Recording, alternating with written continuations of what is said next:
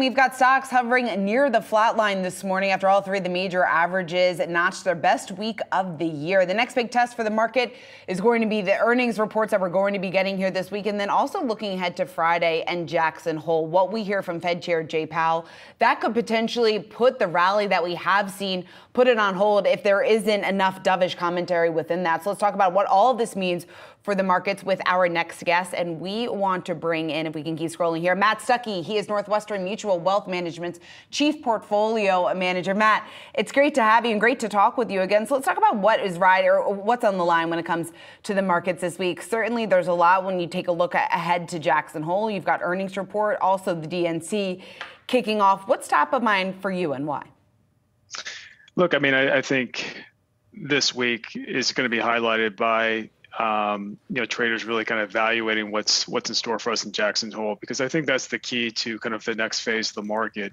You know, are we going to be in a market where the Fed is not so much of a headwind to asset prices, or is the Fed going to start to, to ease gradually and start to bring uh, monetary policy back down from a restrictive level? Um, you know, there's not a whole lot of data points between now and then, but one data point that I would highlight that I think hasn't really gotten enough attention is just the the Conference Board Leading Economic Index. Um, right now, we're in the midst of the fourth deepest drawdown in this in this series, all the way going back to the 1950s. And the other times we've seen drawdowns in the leading economic index to this level have been, you know, 1973, 1981, and 2008. We're 14.7 percent off the all-time highs that were set at the end of 2021 for this index. And so, to me, it's just a deterioration factor that keeps um, keeps um, uh, going against us here as we look at kind of where the economy is headed. And so, it's important for us to to kind of look to Jackson Hole to see that the Fed can start to uh, remove the restrictive policy. Uh, we're going to find out, see and see what happens this upcoming Friday. But uh, you know, to me, I, I'm, I'm paying laser-like focus on kind of where LEIs are headed from here. Is, is it too early for the Fed to declare victory on inflation at Jackson Hole? You know, I, I, think that they're going to be awfully careful about declaring victory. I, th- I think that um, the most likely outcome for for the meeting uh, this upcoming Friday is a 25 basis point cut, absent you know some other kind of uh, downside surprise to inflation or employment between now and then. Um, you know what what really kind of looks at you know my thinking here is just simply I, I don't think the Fed wants to repeat the mistake that they made in the fourth quarter of 2023. And the mistake that they made was signaling, you know, a, an aggressive path of rate cuts uh, in 2024. And here we are in the month of August, and we haven't had a single cut yet.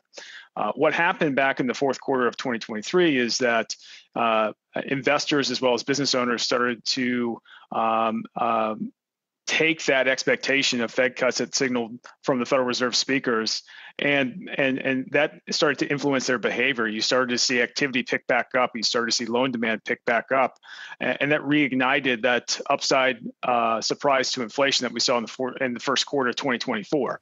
Um, I think the Fed wants to be a little bit guarded against that as we think through you know the next couple of quarters.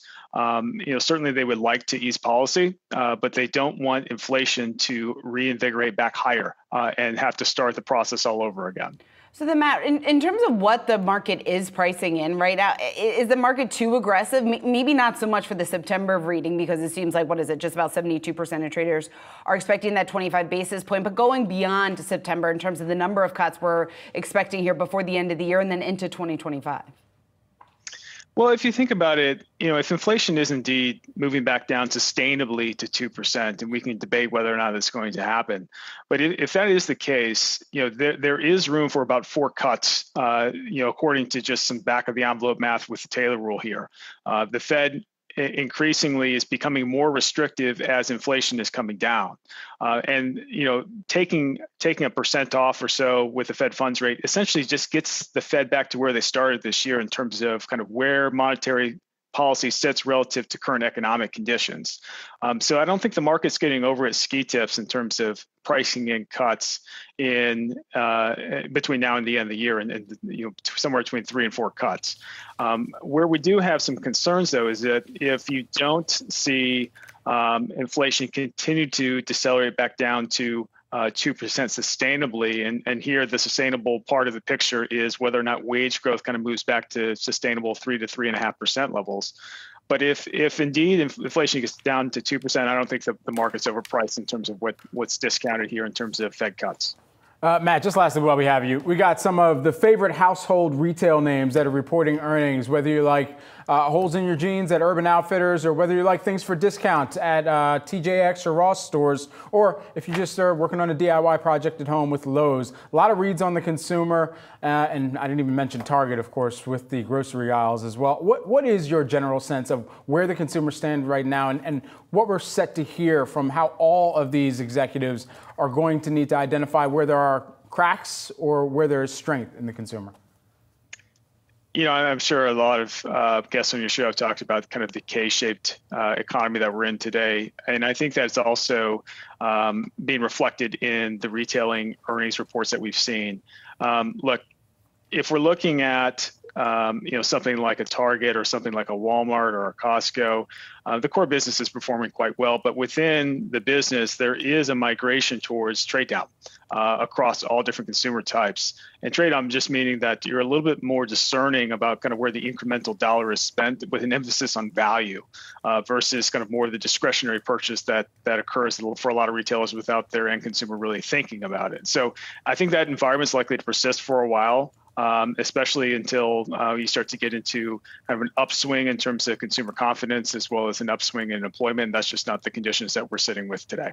Matt Stucky, who is the Northwestern Mutual Wealth Management Chief Portfolio Manager. Matt, great to catch some time with you.